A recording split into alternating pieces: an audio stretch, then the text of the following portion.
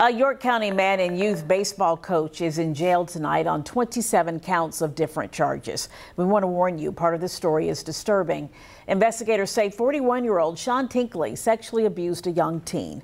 Ann Sparacco spoke to a parent who's known Tenkley for years. I would have never have, have guessed this for sure.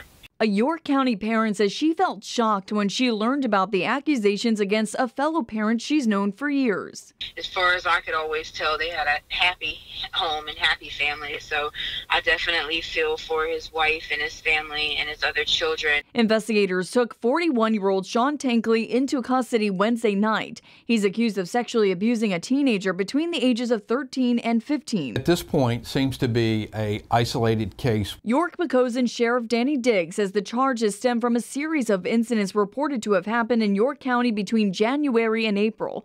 Diggs says Tenkley is known in the community as a coach for the York County Little League baseball team. However, Sheriff Diggs says the victim in this investigation is neither a family member nor a member of the Little League team. The victim is this is not associ- was not part of any organization that he was dealing with. Uh, so it doesn't appear that any of those groups that he was part of, uh, that any of those children uh, were in any kind of jeopardy.